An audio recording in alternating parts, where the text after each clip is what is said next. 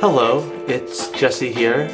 Um, it's no surprise that a lot of people are stuck in their home and they're starting to get restless and bored. And in my opinion, cooking is a great way to alleviate that. So today I'm going to show you two amazing and unique dishes to spicing up all of your uh, amazing dinner plans that I'm sure you have had to cancel. So this is going to be really fun, and um, I know I'm ready. Let's go.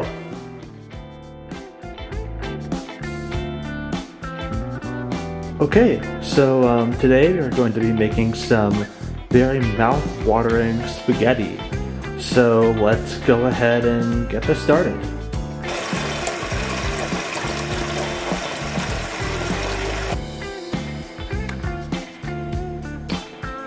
Okay, time for the noodles.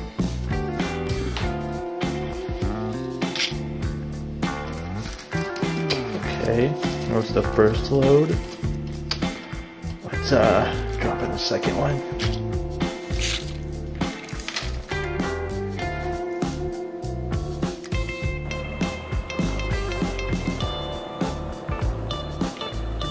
At this point, most people would say um, take the noodles out and then, you know, mix it with the spaghetti sauce and everything else that goes into it. Um, I am not a believer in that. Okay, here we are.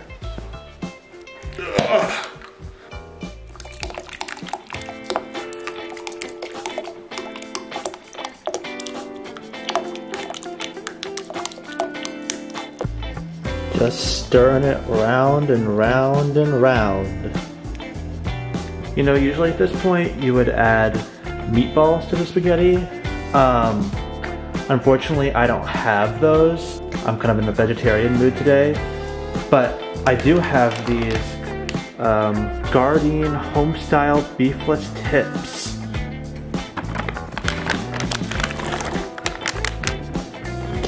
Never stop stirring. You gotta keep on stirring this thing to, to get that flavor brewing. Ride the flavor train all the way to um, to uh, a good tasting spaghetti, I guess. Lastly, I like my spaghetti to have a little bit of kick to it, so I got some Fiesta New Mexico chili pods. I'm excited for this.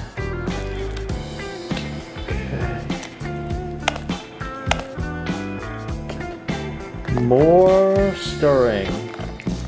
More and more stirring. And voila! We've got a fresh bowl of spicy spaghetti. Enjoy!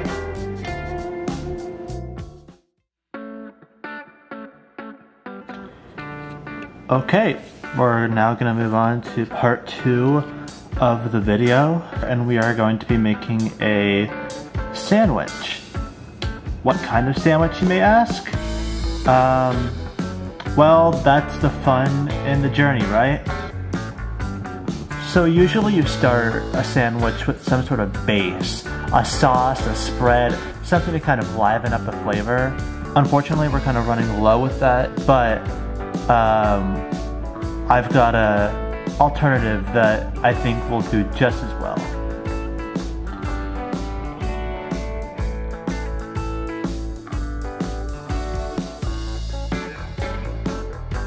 Okay, we've um, we've got a good base layer, and now we're going to move on to the second piece. Alright, so usually you want a little bit of flavor and, you know, sometimes you want to stay healthy. Sitting around in quarantine all day and you want to uh, keep that body healthy. So we're going to add some of these things. We got some uh, great value green beans and some uh, great value whole kernel corn.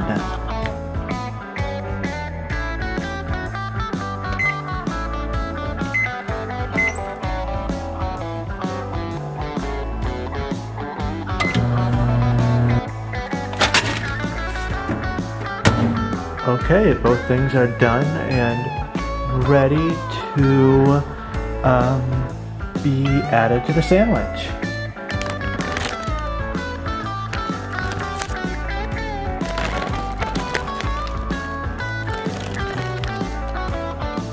And um, lastly, don't forget some ground cinnamon for an extra little, extra little kick.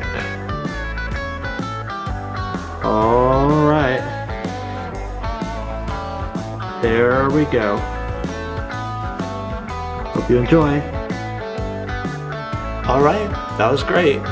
Um, if you want more unique and amazing recipes to uh, liven up those dinner plans, just um, keep watching ATV and keep on the lookout for the next few weeks. Hope you enjoy.